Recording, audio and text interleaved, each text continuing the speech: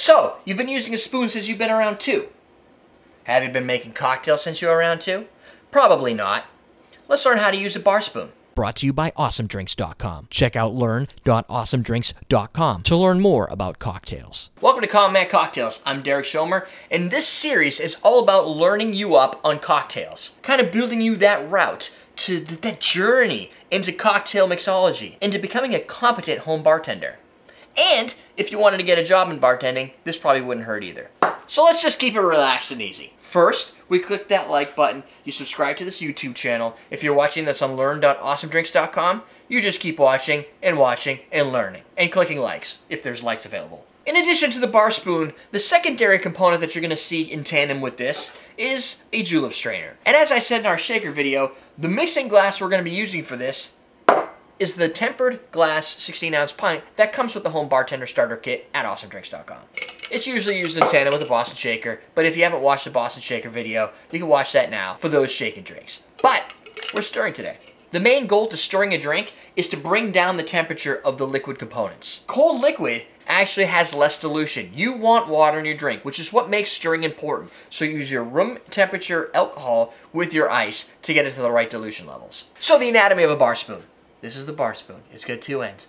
Usually it's got a little red knob. If you bought our home bartender kit, this is the one you have. Sure, you can upgrade to the professional bar spoon, which is the one I use on the show Common Man Cocktails that you're watching here, usually.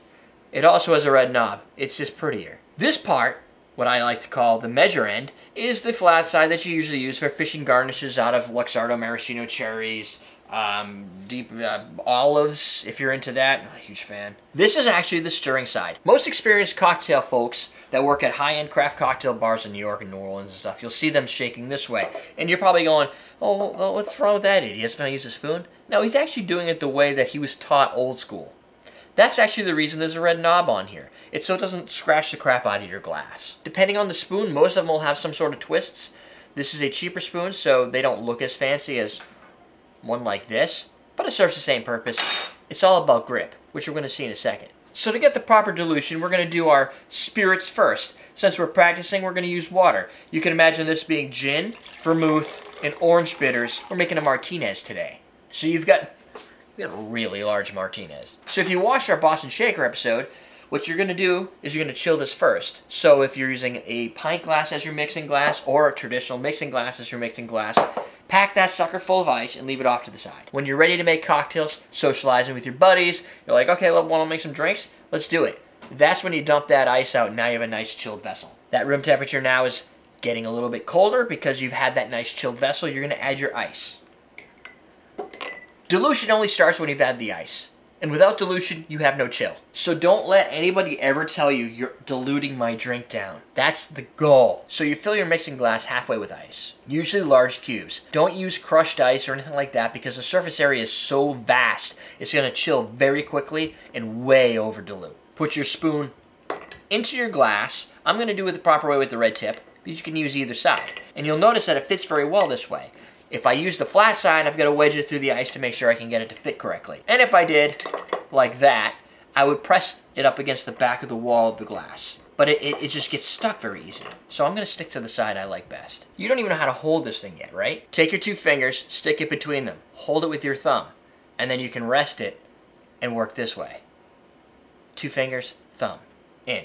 Using the clock method, we're going to pull towards 6 o'clock and push towards midnight or noon but you're at a bar, so it's probably midnight. So you're to pull, push, pull, push. That's the entire process. But notice how I'm using all my arm and it's very awkward, right? Now, we're to get up. We're to pull, push, and we're to use our fingers to do the stirring. Like so. So I'm constantly pushing against the wall of the glass as I go. But I'm doing all of that with just my fingers, keeping my thumb there to sustain the movement pulling with my pointer finger and pushing back with my middle finger. You can get really fast. You do that for about 30 seconds to get the proper dilution in your drink. Then we'll show you how to pour. But one other thing you want to consider, learn how to do it with your other hand too. You don't want to have too much movement, and it's kind of awkward at first. Because you, you, the pull-push thing with your non-dominant hand is kind of a pain. But if you get really good at this, you can do two at once. Or, better yet, you can shake while you're stirring at the same time. That's a lot of work, but you'll get more done that way. Imagine being able to make two drinks at once. Why is that good if you're a home mixologist? You're like, but I'm not getting tips.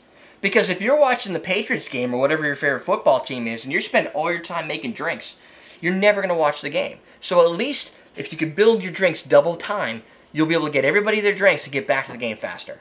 We'll use a low ball for this one. Take your julep strainer, add it to the top to hold back the ice. Now you can pour your drink.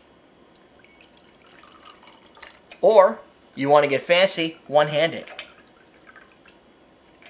It's really not that fancy. Becoming efficient with both hands will make your life easier. Remember, it's the fingers. I'd say 90% fingers, 10% wrist, 0% arm. That's how you use a bar spoon. Of course, there's a variety of different bar spoons. They have some that you can poke into your garnishes. They have some that have no tip at all. In my opinion, the spoon you have is the best spoon you got. To start your journey into cocktail mixology, home cocktail bartending, whatever you want to call it, check out the Home Bartender Starter Kit at awesomedrinks.com where you can get all your bartender starter gear and all your professional gear. Or just click the link right below.